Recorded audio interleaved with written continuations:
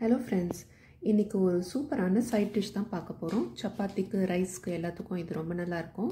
புடலங்காய் கூட்டு எப்படி பண்ணுறதுன்னு பார்க்கலாம். இப்போ வாங்க வீடியோக்குள்ளே போகலாம் இன்றைக்கி நான் குக்கரில் தான் பண்ண போகிறேன் குக்கரில் ரெண்டு டேபிள் ஸ்பூன் எண்ணெய் விட்டுட்டு கடுகு சேர்த்துக்கோங்க. கடுகு பொரிஞ்சதும் மூணு பல் பூண்டு தட்டி வச்சுருக்கேன். அதை ஆட் பண்ணிக்கலாம். எல்லாம் கொஞ்சம் நல்லா ஃப்ரை பண்ணி விடுங்க அப்புறம் ஒரு சின்ன சைஸ் வெங்காயம் வெட்டி வச்சுருக்கேன். அதையும் ஆட் பண்ணிக்கலாம்.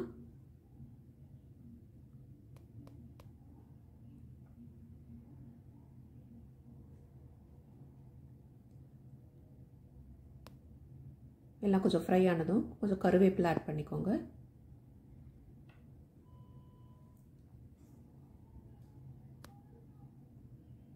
அதுக்கப்புறம் இதுக்கு ஒரு சின்ன டொமேட்டோ ஆட் பண்ணியிருக்கேன் அதையும் ஆட் பண்ணிக்கோங்க.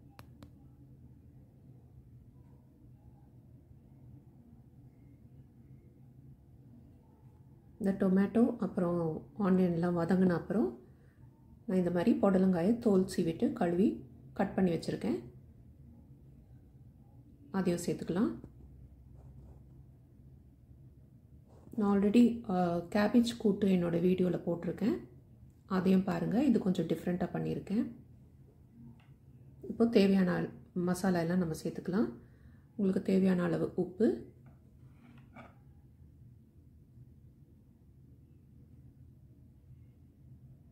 அப்புறம் சில்லி பவுடர் ஆட் பண்ணிக்கோங்க.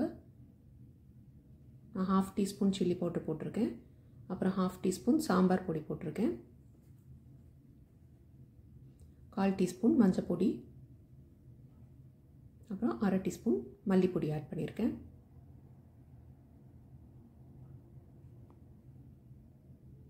இப்போ நான் பருப்பு ஆல்ரெடி ரெண்டு விசில் விட்டு வேக வச்சுருக்கேன். மூணு டேபிள் ஸ்பூன் கடலைப்பருப்பு மூணு டேபிள் ஸ்பூன் பாசிப்பருப்பு. இதையும் இது கூடவே ஆட் பண்ணிக்கலாம்.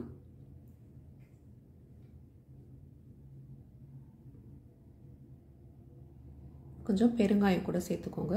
இது பெருங்காயம் போட்டால் தான் நல்ல ஸ்மெல்லாக டேஸ்ட்டாக இருக்கும்.